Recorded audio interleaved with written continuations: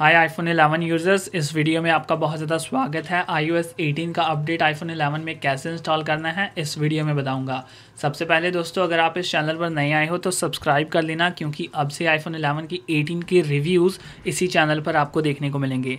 सो जल्दी से शुरुआत करते हैं इस वीडियो की। मेरे पास है पर्पल कलर में सिक्सटी वाला वेरियंट आईफोन एलेवन का। आपके पास कौन सा है? जल्दी से कॉमेंट सेक्शन में बताओ। अब बढ़ते हैं अपने मेन प्रोसेस की तरफ़। सो जल्दी से मैं फ़ोन को अनलॉक करता हूँ और अब मैं चलता हूँ सेटिंग्स में क्योंकि सेटिंग से ही ये प्रोसेस शुरू होगा। सो so, दोस्तों यहाँ पर आप देख सकते हो जनरल सेक्शन में सॉफ्टवेयर अपडेट में मेरे को अभी जो है ना आई ओ एस एटीन का अपडेट शो नहीं हो रहा।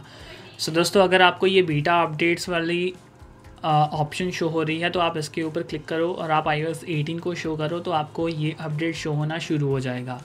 अगर नहीं हो रही तो कैसे करनी है मैं आपको वीडियो में बताऊँगा। सो so, सबसे पहले चलो सफारी ब्राउज़र में अब। न्यू टैब ओपन करो और यहाँ पर सर्च करो beta dot Apple dot com beta Apple dot com ठीक है जी? ये वेबसाइट आपको टॉप पर शो हो जाएगी। इसके ऊपर क्लिक करो एप्पल बीटा सॉफ्टवेयर प्रोग्राम और फिर यहाँ पर आपको शो होगा साइन अप का बटन। इसके ऊपर क्लिक करो और अभी जो है ना, यहाँ पर आपको अपनी एप्पल आईडी साइन इन करनी पड़ेगी। सो जल्दी से मैं अपनी एप्पल आईडी का अकाउंट साइन इन करता हूँ और फिर मैं आपको आगे शो करता हूँ। सो so, जैसे ही मैं अपनी एप्पल आईडी का अकाउंट साइन इन कर लूँगा आप इस पेज पर पहुँचोगे जैसे मैं पहुँच गया हूँ ठीक है जी?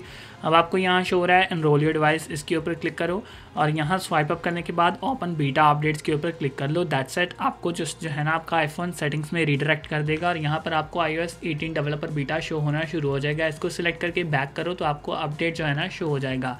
सो so, इस वे से आप अपने फ़ोन में अपने फ़ोन में ये जो अपडेट है ना वो इंस्टॉल कर सकते हो पासकोड वेरीफाई करो और अपने फ़ोन में ये अपडेट को डाउनलोड कर लो और फिर इंस्टॉल कर लेना सो so, जैसे कि आप देख सकते हो मेरी जो इंस्टॉलेशन है वो शुरू हो चुकी है और जल्दी से मैं फ़ोन को अपडेट कर लूँ और फिर मैं आपको इसके ऊपर रिव्यू प्रोवाइड करूँगा। सो so, जो भी आईफोन 11 यूज़र्स हैं इस वीडियो को ज़रूर देख के लाइक कर दो और अपने चैनल अपने इस चैनल को सब्सक्राइब कर दो ताकि आप आगे आने वाली वीडियोस को ज़रूर देख सको और आपके आईफोन 11 के हिसाब से आप आपको सजेशन मिल जाएगा कि अपडेट करो या ना करो कैसे ये चल रहा है iPhone I O S eighteen अपने iPhone 11 so. This was the video कैसी लगी? डू लेट मिन the comment section thanks for watching thank you so much